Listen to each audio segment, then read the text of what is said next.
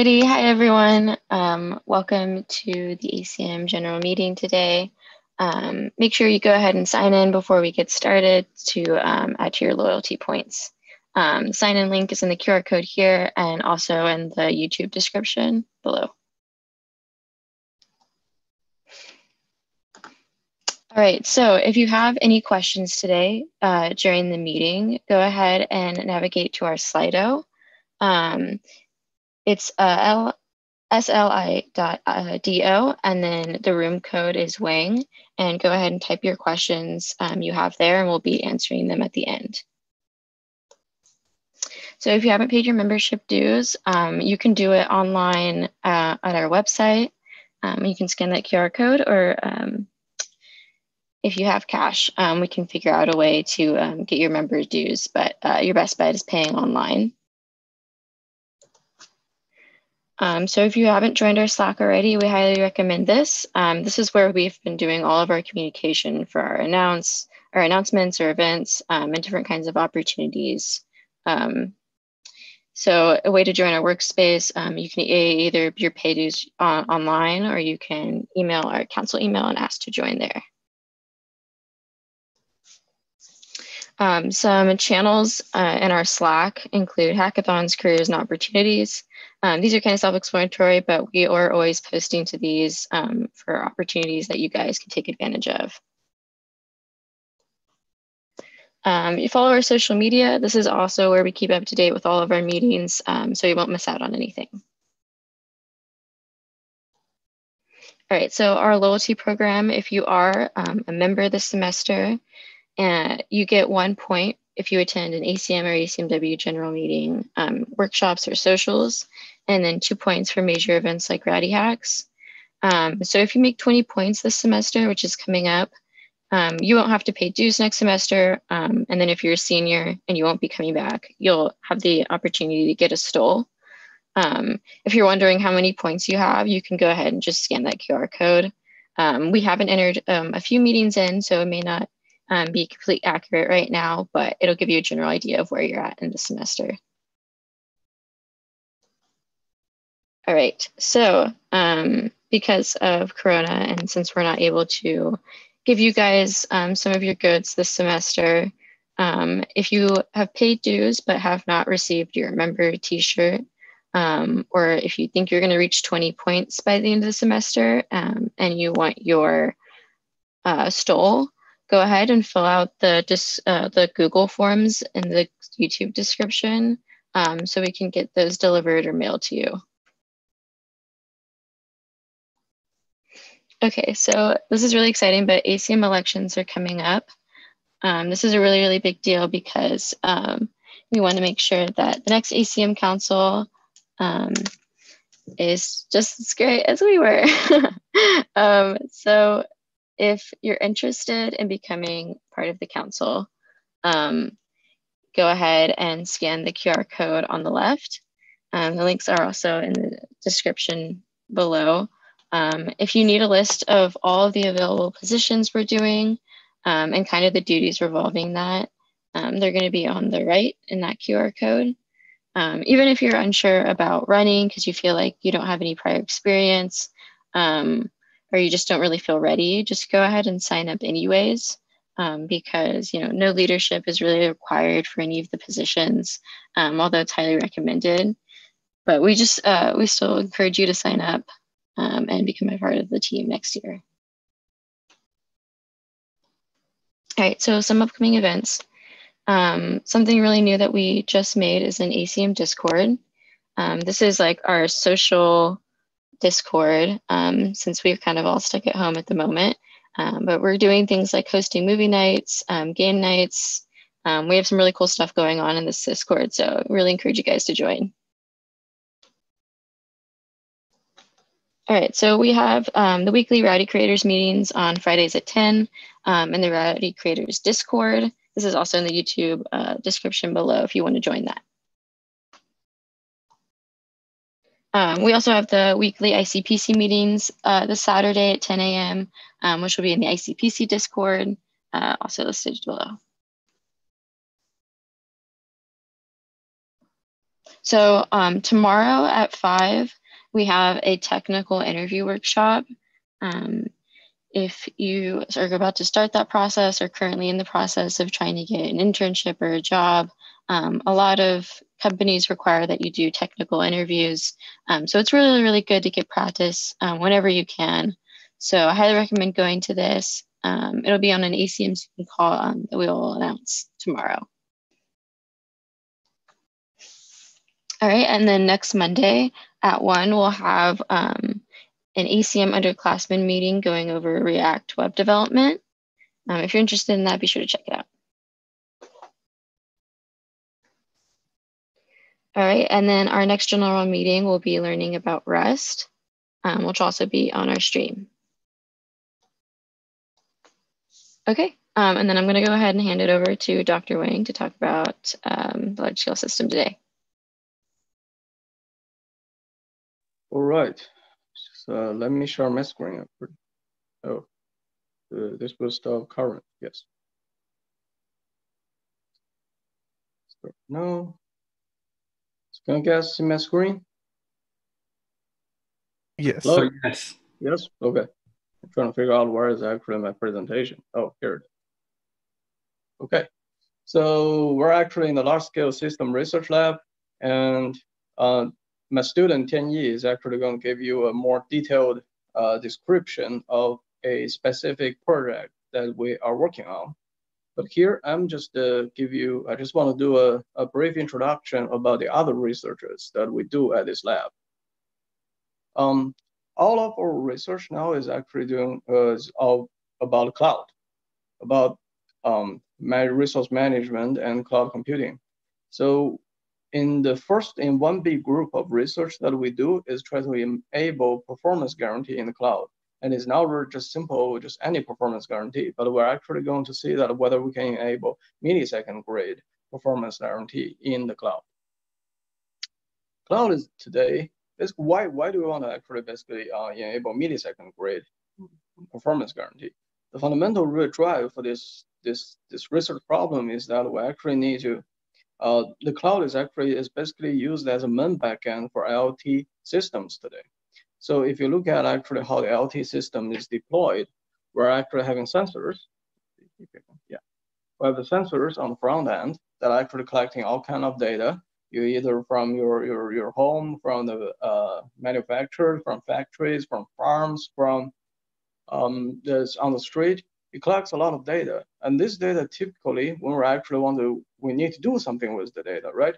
You have to do a inference, you have to do, you have to use the data in the medical setup. You're gonna actually use the data to guess if your uh, person that you're carrying is actually going to have emergencies. Or if you actually in the manufacturer phase that you want to use the data to detect whether there's actually a defect the product is being produced the most of the data is in when they actually, after they're collected, they're first sent out to an edge device. That is some kind of small device located more close to the sensors. Usually in, in, in home setup, this could be actually something like Alexa or a, a small computer or a router that running in your home. In the factory, this is usually a small private cloud that actually running in the factory. But these things actually, these edge devices usually has low computational power. And what they can do is they do initial data analysis. They can do initial data analysis, standardize the data, or just actually strip some of the unnecessary data. And they, some of them can also do some really simple machine learning inference at first. But after all this data, but, but if after this edge device process this data, some of the models or some of the inference are really complex. Their models are extremely large that cannot be conducted, or the analysis cannot be conducted on the edge server. All this data has to be sent back to the cloud. It could be edge cloud actually, but it could be in main cloud. So all data sent to the cloud and cloud starts processing them. Process actually was basically would do two ways. One is actually in the in the VMs virtual machines. It's called infrastructure as a service infrastructure as a service. What it does is basically just uh, this is actually heavier resources that can be used to do very complex data analysis in a short amount of time, or actually retrain the model, refine machine learning model. Or actually, there's another way of doing this is we call the serverless functions. uh, it's called serverless computing or cloud functions. What essentially this thing does is actually just taking the resource, taking in data, resource, data request, does a very fast process, and returns this back to the client, uh, back to Azure, back to whoever is actually requiring it. And of course, cloud actually also do data storage, but that's not really the focus for us in, in, in our research. But generally speaking, when you look at this figure, when you look at this figure, one of the main things that we're actually doing here is really just data processing, data processing in both uh, VMs and cloud functions. And both of them, especially when we're supporting the IoT systems, is actually has a very high, uh, very, very high requirement for latencies. Effectively, they actually the one really low latency at millisecond grade. And many, many of these requests actually has a deadline that you must finish the request in time. For example, in the health setup, for emergency detection, you do want to be able to know as early as possible. It's probably not really uh, it's it's I mean it's you want to know the emergency as early as possible so you can so you can actually just notify the first responders. And there are a lot of situations the drug has to be taken if there is an emergency. The drug has to be taken in a fixed time window within like one hour or within 30 minutes that it can be actually reverse the totally negative effect of the disease. So there are a lot of cases that we need to actually, there's so many use cases in IoT that requiring low latency request processing. But the problem is actually cloud is not really designed for low latency. It is not designed to handle low latency requests. The whole reason that we have cloud is because it's cheap. It's cheap. It does not provide any performance guarantee. So if we want to provide performance guarantee, we have to redesign the whole way from the system side and from the application side running on the cloud to make it more, uh, to make it really feasible to tolerate low latency, to make it feasible to guarantee that actual request can be finished in several milliseconds or several hundreds of uh, so tens of milliseconds. Okay, there are several problems that in the cloud that actually really just make it impossible to handle the low latency. So uh, we're dealing with basically just two issues. These are actually the two fundamental issues that in the cloud. The first one is actually called startup time.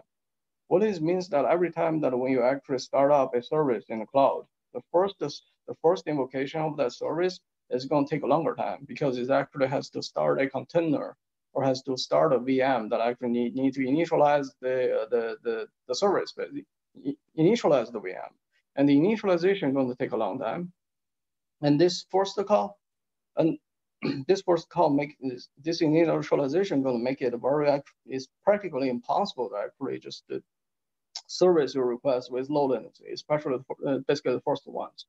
Afterwards, that is actually pretty good. That actually all of the requests can be serviced just by um, you know without the initialization overhead. The first one is hard to is, is actually hard to guarantee that it is, is serviced in low uh, in a really low latency and the downside of this thing is that actually it happens a lot. And the first call actually sometimes initialization is so slow that it actually going to jam the queue and propagate, and the latency is actually going to propagate to all the following calls. So even the following calls do not have the startup overhead, they are affected because queuing effect. The second issue that we're dealing with here, oops. Uh, didn't expect that I could write things on there. The second issue that we're dealing with here is basically the, uh, the high performance fluctuations. So the thing is basically when running applications in the cloud, the performance is unstable, is extremely unstable. Here we actually have three applications. One is a web serving, is web service. The other one is machine learning inference. And this last one is data service. It is a data serving application. And this is the distribution of the performance. The bottom, the x-axis here is the performance. And this, this line here is the distribution. And as you can, you, you can actually see here, the, the, the, performance fluctuates a lot. I will just use this one because there's no weird red lines on it. So the performance fluctuation, the throughput is actually from 16K all the way to 25K. This is actually how much it fluctuates. And the thing is basically if you run an application on the cloud and that fluctuates like this, how do you know? How do you know that know for sure that actually your, your, your service, your application are really running in in, in can, how can you guarantee that your application always serve your request in a reasonable, reasonable amount of time? So our research is basically trying to deal with these two issues, the fluctuate, the cold startup time and the performance fluctuations. So we have uh, three projects in this end. Is one we're doing is actually new software engineering paradigm for IoT and cloud which we're actually doing uh, performance testing and performance debugging. Just try to ensure that you can write a program for cloud correctly without just uh, can you can write correct you can do performance testing, you can do debugging correctly so that you can write a program that you know for sure that can actually run in within the within that your performance requirement, the millisecond performance requirement. And the second pro, uh, product that we do is this this this pro, uh, the first two products were really handling the fluctuation issue. Fluctuation issue, fluctuation issue. And the second one, this one, this product we're dealing with the cold startup. And what we're doing here is we do predictions. We predict how many workloads is actually going to come in the future. Then we start up the services in advance we start up the service in advance. But the prediction is actually pretty, uh, this workload prediction is pretty hard. So we're doing some really uh, uh, weird things. It's called automatic machine learning to deal with this. So let's talk about the, uh, the first product, performance testing. When we're talking about actually is the, how do you write correct code? How do you make sure that your code running efficiently and uh, running with a good performance guarantee? Uh, how, how can you guarantee your application running uh, fast in the cloud? The first thing that you want to do the most reliable thing that you want to do is actually performance testing. It's performance testing. But the main issue is that how do you know, how, how do you do performance testing, right? How do you test how fast your program runs? And this is actually just, uh, this figure shows just two tests that we did in cloud, uh, that, that we did on Amazon cloud with the same application, same VM, almost same testing, the same configuration, except that they run at two different times. So the blue line here is one test, the performance result of one test. And the red line here, this dotted red line here is the performance result of another test. And you can see that actually how fast, uh, how far apart these two things, um, how, how, how far they are apart from each other. The average for the first test is here is somewhere around actually 18, uh, 185K. And the second, the average for the second is roughly around here is about 22, 225K. And this is actually, there's more than 10% differences. And we do not now know which test is reliable. So the fundamental question here is, how do you know, how do you do performance testing? How do you know that actually you, you, your application, how do you know for sure that your, what is the performance of your application? So we did, we solved this problem basically with, there's also a weird red line. So we actually, we developed a, a very reliable uh, testing approach for cloud and we're probably I'm very proud to say that we're probably the only group in the world know how to do this reliably. Um, these are just figures to show that how reliable our, our approach is. The blue line here is the performance distribution that we get, and the right the line here is the ground truth, which we call, which we actually collected using running the uh, uh, benchmarks on uh, Amazon for six uh, for six weeks. Yes. And this performance distribution that we get here is actually running usually within uh, two weeks. And you can see that actually how uh, how how matching how how these two distributions match uh, how these two distributions matches to each other. So we're actually so our approach can basically just uh, tell you that how do you do the testing, when do you stop, that you can actually know that your performance is you actually get reliable performance data. Um, the thing that we do here is th this work is very statistical. We use a lot of statistics tools to analyze the data, to do data analysis, and to get confidence, to uh, extract the confidence within the result. And the second project that we do is actually uh, is um, is do performance debugging. So when you do the first project, you know that your your, your application is not is not running fast enough. But why why do you running fast enough? Which part of your code is actually causing the issue? So there's a lot of actually stuff within code level debugging that you have to do to figure out why that happens. There's a lot of reasons that actually can cause your code run slow. It could be a CPU, it could be GPU, memory, disk, the network. There's all of the issues. This is what we're, this is the project that we're, we're working on now. But what we can do is basically, besides actually really just tell you how fast your whole program run, we're able to actually test individual statement. We can tell you that for each statement that you deploy to the cloud, that you actually throw your code to the cloud, we can tell you which statement actually, how long it takes for each statement. And we can actually, based on that information, you can actually really just uh, know that which line is causing the issue that you actually, you can improve the whole program to make it actually getting close to your performance goal. So this is our second project on performance debugging for cloud system and for service, uh, for, for cloud functions. Uh, the third project that we do here is a workload prediction. We predict the workload of the, you know, the uh, the the job the, the application is going to encounter. Um, here is this this figure is actually the, the blue line here is the actual workload that we're actually seeing with Wikipedia. The blue line here is a little bit hard to see, but you can see that it actually fluctuates. This is well-behaved workload. This one actually works pretty nicely. Let me show you another workload that actually is more easy. This one. This is the paper that we're actually about to publish. And you can see here is the workload of from Google. It's a Google cluster workload. It predicts how many jobs are actually arriving every 30 minutes, every 30 minutes. And this is actually low workload fluctuation. It's completely random. And this one, this is Wikipedia, the one that you guys just, just see. And this is a Facebook cluster. And you can see the workload is even crazier. We also have another two clusters that I think I can show you. This is Azure, Microsoft Cloud. This is part of their, um, their internal workload trace. And this one is a great workload trace, is, is some kind, is a different type of high performance computing. As you can see, the main problem here is every workload works, they have a different type of trace. And so how can we build a machine learning model or any model, prediction model that can actually handle any type of these workloads without actually just uh, can handle all of them automatically with pretty good predictions. That's the main problem that we're dealing with here. So the thing that we did here is something is called, um, I mean, the, I forgot to say this. The fundamental issue is actually for generic prediction, we need to determine what are the models that you want to use and what are hyperparameters that you want to use. These are the two things. When you learn, when you actually study machine learning class, you probably already know this.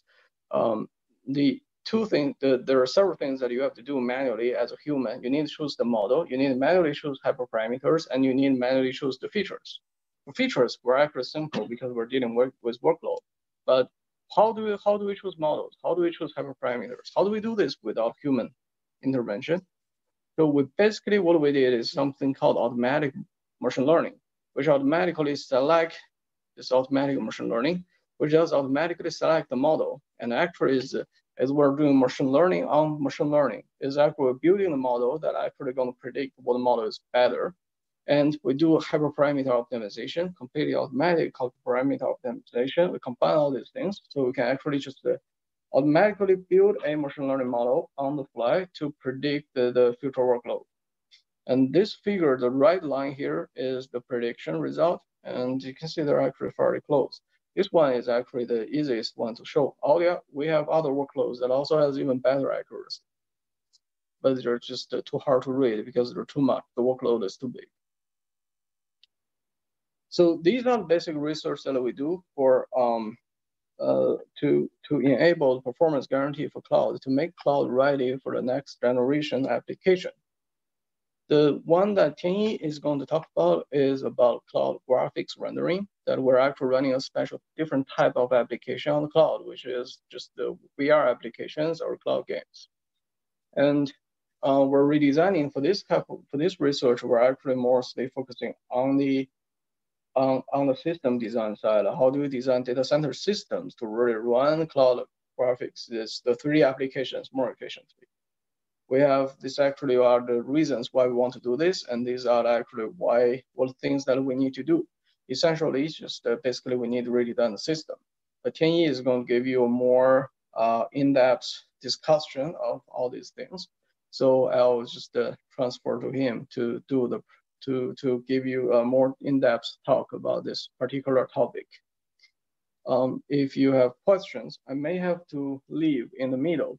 So if you have questions, I think you can I can take one or two questions for now. Uh, if there's no more questions, I think we can just uh, no questions. We can actually just uh, go directly transfer to Kenny. How about that, Leon? Anna. Hello? Yeah, that works. Yeah, are there any questions? Um, we have one. Um, so they are asking, when do you see the three projects being implemented onto the cloud servers? Onto the cloud servers. Actually, it's a very good question. The first one, actually, the first two projects about how do you actually really is software practice on the cloud. So uh, software practice on the cloud. So you don't really need to implement them in the servers, but you have to publish the to popularize the tools to actually to help people to write correct program for the cloud. For the last one, we're really looking forward to actually really just uh, release this. It's not really, um, we're probably not really going to get into Amazon as far as fast as we want, but we can actually release these things to a uh, private cloud. To private cloud or actually smaller public clouds that I can collect data and gradually just uh, refining the model and make things going forward. Great. Uh, we don't have any other questions uh, at the moment. Okay, great. Then let's let let uh, I'll, I'll let Tianyi do do do his presentation. Right. Thanks, folks. Okay. Uh, now I will share my screen.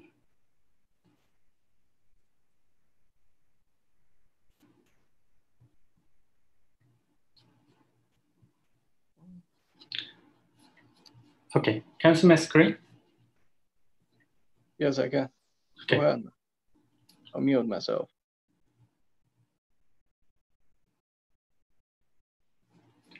Um, hello, everyone. My name is Tianyi Liu, and today I will present Pictor, which is a benchmarking framework for Cloud 3D applications. This is the outline of today's talk. I will start with describing the background of Cloud 3D system. For Cloud 3D system, it needs a client proxy and a server proxy to send user inputs to the cloud and send images back to the user.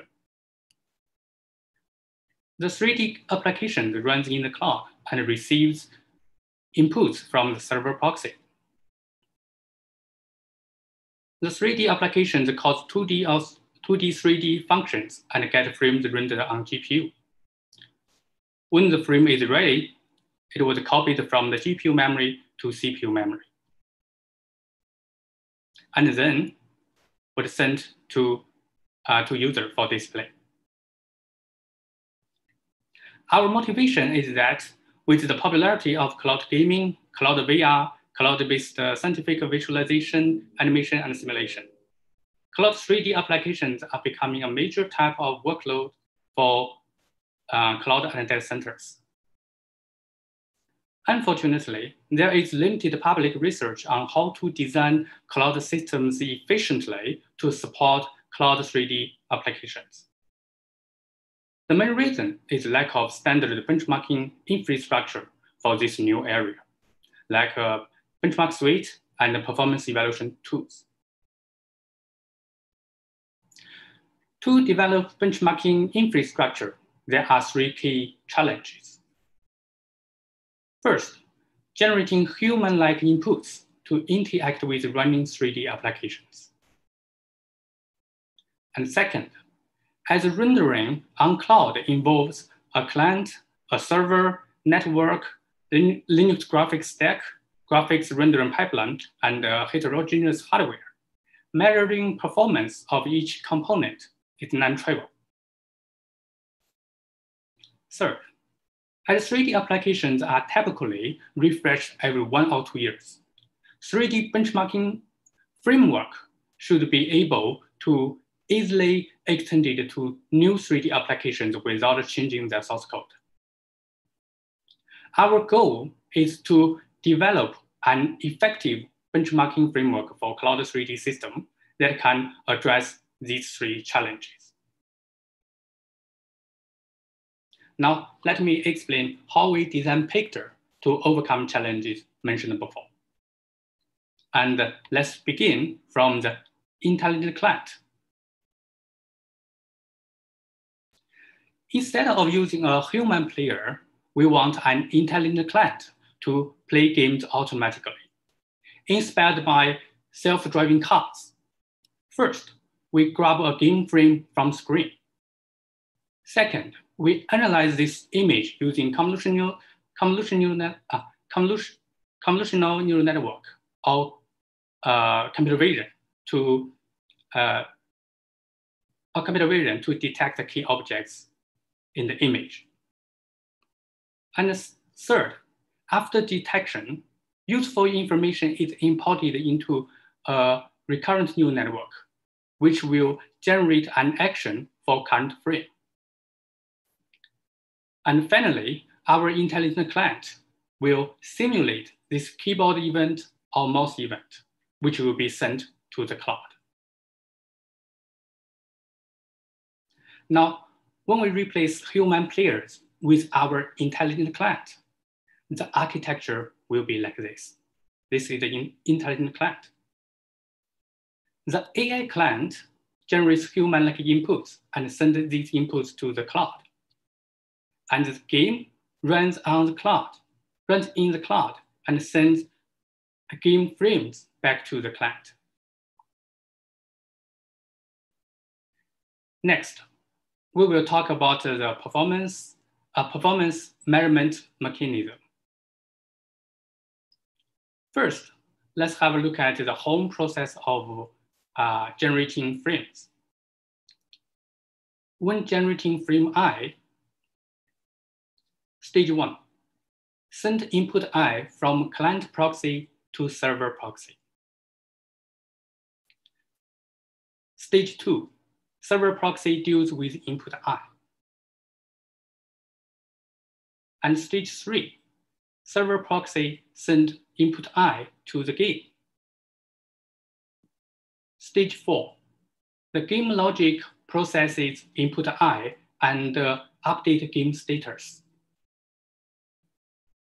Stage five, GUI-related drawing commands are sent, are sent to and executed on GPU. Stage six, when the frame is ready, it was copied from GPU memory to CPU memory. Stage seven, pixel data is sent from game processing, game process to server proxy. And stage eight, server proxy receives the pixel, data and does compression. Stage nine, encoded pixel data is sent to the user through the internet. This is the traditional, traditional pipeline. And the modern pipeline tries to paralyze, paralyze, stage six, stage six with other stages when generating frame i, the stage one to stage four are same, are same as before. The difference is stage six of last frame, frame i minus one, is executed before stage five of current frame, five, the frame i of current frame. In this way, stage five of current frame can be executed in parallel with stage seven, stage eight, and even stage nine of last frame, frame i minus one. Which means we generate frame i and send frame i minus one in the same pipeline. This is the modern uh, pipeline for uh, cloud graphics rendering. After after, send, after sending frame i and generating frame, uh, after sending frame i minus one and generating frame i, similarly, we can we can send frame i uh, we can um, we can send frame i and generate frame i plus one. Send frame i plus one and generate frame i plus two. Here, we will define two metrics. RTT is round trip time. It is the time interval from the client, uh, from the time when the input I is captured by client proxy to the time when the, when the corresponding frame is received by the server, uh, by, by the client proxy. Also, we define the throughput of frames as FPS, frame per second. After talking about the graphics pipeline, we will step into our performance measurement mechanism. In order to get performance of each stage, the each stage, we inserted several hooks along the home process. Hook one, hook two, hook three to hook nine. When an event is received by the server proxy, an ID will be, will be, will be created. And the ID will travel through the home process along with the event. In the meantime, timestamps will also be recorded by each hook function, by each hook function, and printed out at the client side. Now we have finished the Pictor framework. I will move on to evaluation. We implemented our uh, benchmarking framework on TurboVNC and VirtualGL, which is a cloud 3D uh, system based on remote desktop. In order to conduct comprehensive evaluations, we also collected a Cloud 3D benchmark suite, which includes four, uh, four uh, 3D applications and two uh, VR applications. All these six interactive 3D applications belong to different categories. And these are the system parameters that we use. Uh, on server, we use i7 and uh, with uh, GTX 1080 Ti GPU. And our client, for our client, we use i, i5, uh, i5 CPU. Now, we will talk about the diversity of our benchmark suite, diversity of benchmark suite. The figure at the upper right corner shows the CPU utilization uh, on x-axis and the GPU utilization on y-axis. From, uh, for CPU utilization, it ranges from 70% uh, to 260%. Well, the GPU utilization ranges from 20% to 55 uh, to 55%. Dota 2 has, uh, has the CPU utilization. Well, STK has uh, the has the GPU utilization. We also evaluate the CPU utilization of VNC. It ranges from one, uh, 160, um, 160% to 240%. Next, we will talk about uh, memory utilization. The blue bar is CPU memory, and the yellow bar is GPU memory. From this figure, we can, we can get that the uh, STK 0AD and IM, IM and VR, um, use more CPU memory than other applications, than Red Eclipse, Red Eclipse, Dota 2, and ITP. For GPU memory usage, uh, STK, uh, Red Eclipse, and Dota 2 are much higher than 0AD, uh, IM, and ITP. The figure at the bottom right shows the PCIe bandwidth uh, at the left side and the network bandwidth at the right side. The green bar is the PCIe bandwidth for GPU sending data, GPU sending data, green bar. GPU sending data to CPU. And the yellow bar is PCIe bandwidth for uh, GPU receiving data, GPU receiving data. A GPU receiving data from, uh, from CPU. And the orange bar is network bandwidth. Orange bar is network bandwidth for sending frames from cloud to, to, to, to, to client. From this figure, we can find that STK is very special because of high GPU receiving uh, bandwidth. Also, 0AD consumes the highest uh, network bandwidth. Since the benchmark suite covers a variety, a variety of 3D applications with diverse, with diverse behavior and uh, uh, resource utilizations, we can conclude that our benchmark suite has a good diversity. And we can, and we can use this benchmark suite to evaluate Cloud 3D system. Uh, next, uh, we will talk about the evaluation of our AI client because we also develop an AI client. The left figure shows the comparison of RTT distribution, round trip, round trip time distribution, got from intelligent client and human players. Let's take SuperTuxKart, the STK, for an example. STK-IC uh, denotes intelligent client, while STK-H denotes human players. From the, from the result of SuperTuxKart, we can find that the distribution of RTT are very similar.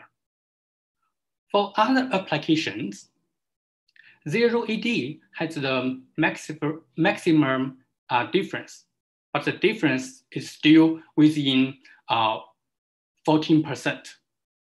So from this figure, we can conclude that uh, our AI client has high accuracy and it can mimic human players faithfully.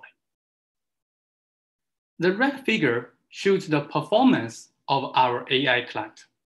The blue bar is CV time, convolutional neural net, CNN time, convolutional neural network time, or C, or computer vision time. Um, and the yellow bar is the input generation time, the recurrent neural network time. The CV time is less than 100 milliseconds. And uh, uh, the input generation time, input generation time is less than three milliseconds. Comparing to human response time, 0.2 seconds. AI client is fast enough to interact with 3D applications. So here we can conclude that our AI client is accurate and fast enough. We can, we can use this AI client to evaluate Cloud 3D system. Now uh, we will evaluate the overhead of Pictor framework.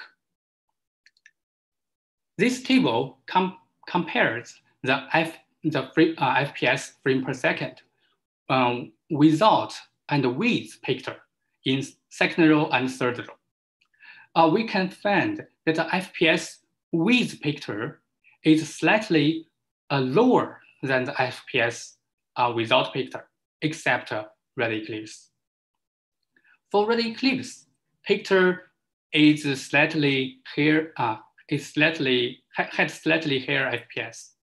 Uh, this should be the system fluctuation.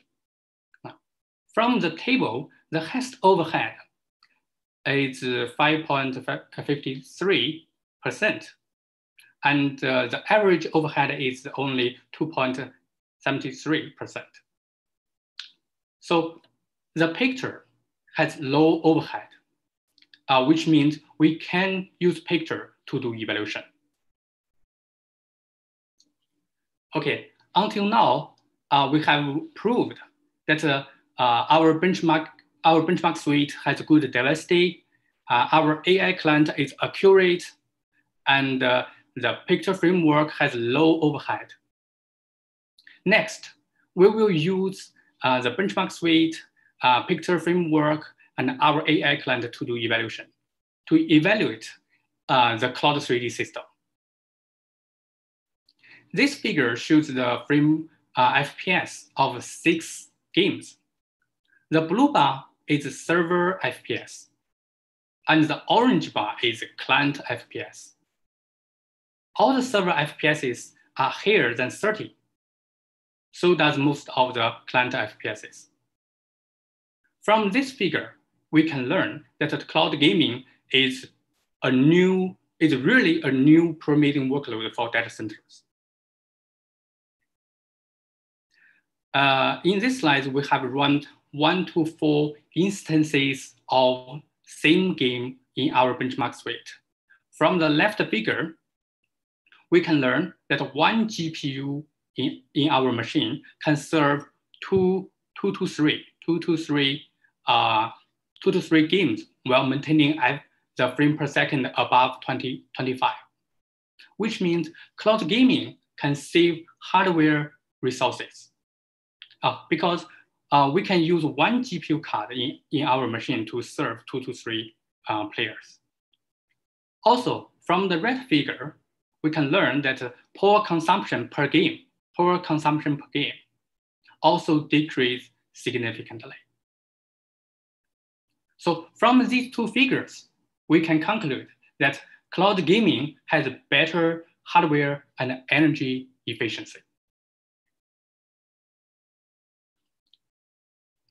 Okay, from these slides, we will uh, demonstrate the effectiveness of our PICT by identifying bottlenecks and then propose new optimizations for current Cloud 3D system.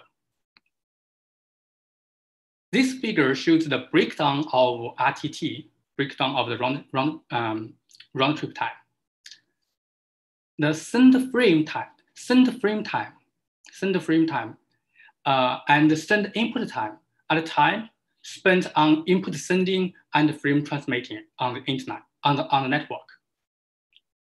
From this figure, we can find that server handling time, server handling time, the blue bar, dominates the round trip time in all cases.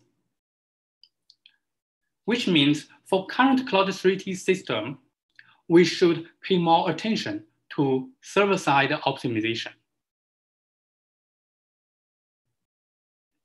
In order to find the bottleneck of the server, we further break down server time into four parts. The time for sending inputs to game, and uh, the game time, application time, um, and the and the time for uh, uh, spent on sending frames from game to server proxy, and the server proxy does compression. From this figure, we can learn uh, that application is most time consuming. So we will further break down the application time. This figure shows the, break, uh, the breakdown of application time. The green bar is application logic time. And the yellow bar is frame copy time. The blue bar is rendering time for a frame. Since application logic uh, runs in parallel with GPU rendering, so application time is actually decided by application time plus the, frame, the frame copy time.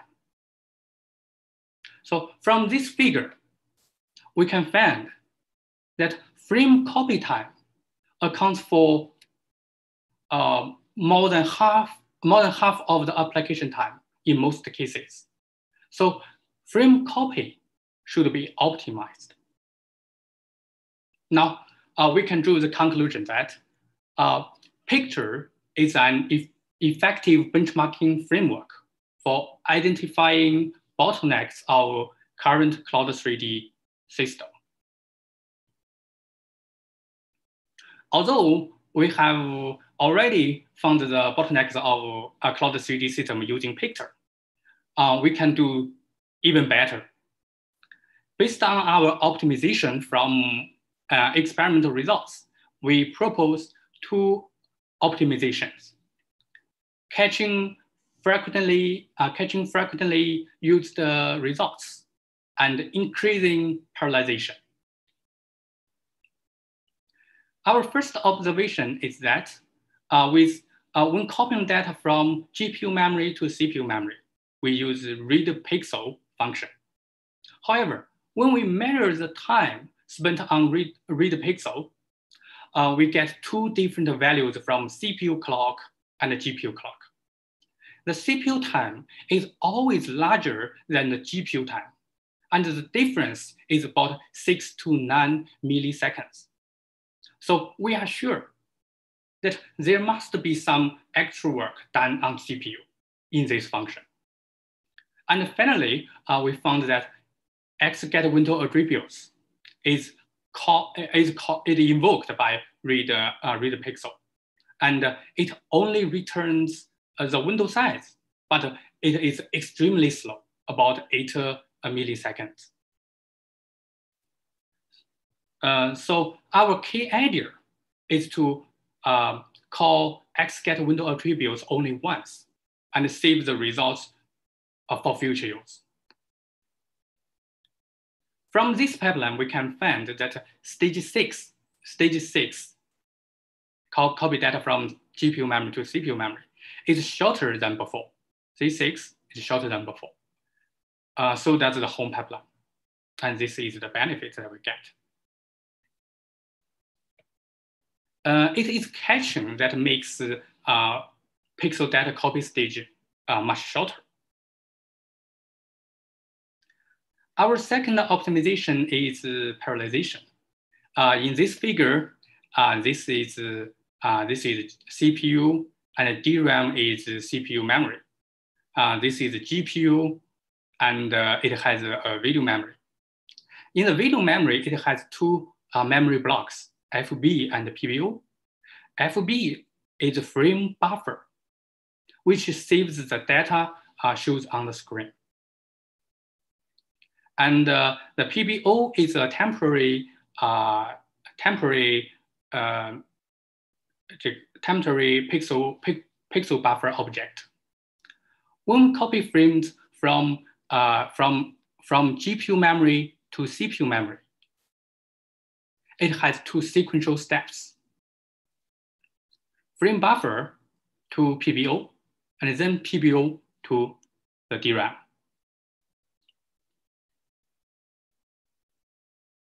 The key idea of our optimization is to trying is, is trying to uh, parallelize these two uh, sequential steps. In order to do this, we create two PBO, PBO1 and PBO2. When we copy data from frame buffer to frame buffer to PBO1, we can also copy data from PBO2 to the DRAM. Similarly, when we copy data from frame buffer to PBO2, we can copy data from PBO1 to the DRAM simultaneously. So the graphic and the graphics pipeline becomes uh, faster. Uh, and from our evaluation, our optimization could improve server FPS by 28, 28% on average, and 67 and 67 uh, percent at a maximum. The client, the client FPS also client FPS also increased by 10% uh, on average, and the round trip time was reduced by 7% on average. Now, uh, let me quickly conclude. In this work, we present, we, we propose Pictor, uh, which has an intelligent client, a, a performance measurement mechanism. And the intelligent client can faithfully mimic human actions to interact with 3D applications. And the mechanism can identify system bottlenecks efficiently. Also, to prove the effectiveness of Pictor, we uh, collected a benchmark suite, conducted a comprehensive analysis, and uh, uh, proposed two optimization. And from our evaluation, we find that benchmark suite has good diversity. So we can use it to evaluate the, three, the, the cloud 3D system. And our AI client is accurate, so we can also use it. And the cloud gaming uh, has uh, hardware and energy benefit.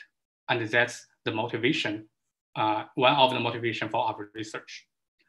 And the optimization and the, uh, the two optimizations uh, bring 28 uh, percent speed up. Uh, thanks for your patience. I'm now happy to answer any question. Thank you. All right, so we have one question uh, and it's would it be possible to ever have games that require low latency in cloud gaming? Uh, uh, can, can, can you repeat the question? Yeah. Would it be possible to ever have games that require low latency in cloud gaming?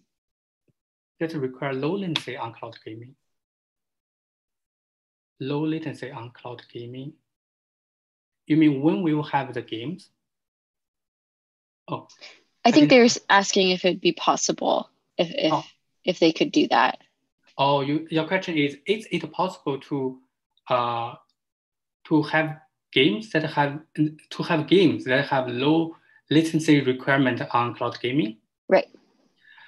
Uh, I think it depends because um, our, our evaluation is done on uh, on local local uh, local area network, and uh, we we we try to simulate the edge cloud, um, and and in uh, in our experiment, the network latency is not a big problem, um, but for uh, for for for uh, for one, um, the network latency should uh, still be a big problem because uh, because we need, there, there, there are a lot of data need to be transmitted from the client, the, the server to the client. And it depends on the, uh, on the bandwidth of the network as well as the uh, com compression rate of the game itself.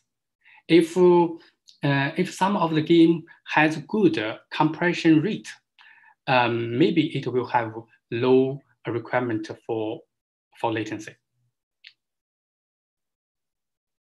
Uh, okay, um, we have another question.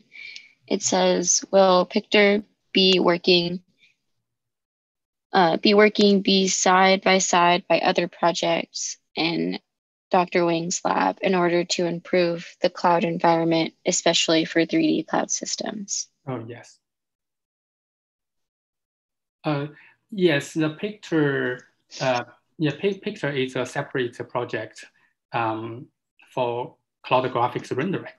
And uh, uh, Dr. Wang has another uh, other three uh, uh, projects related to cloud, cloud, cloud, cloud performance testing, uh, re reliable performance testing, and perform performance debugging, and workload prediction.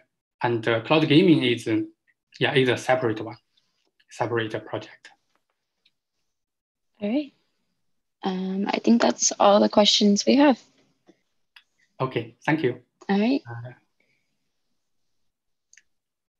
now let's let me hand over to Leo.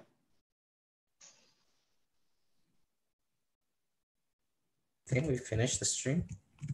Chris.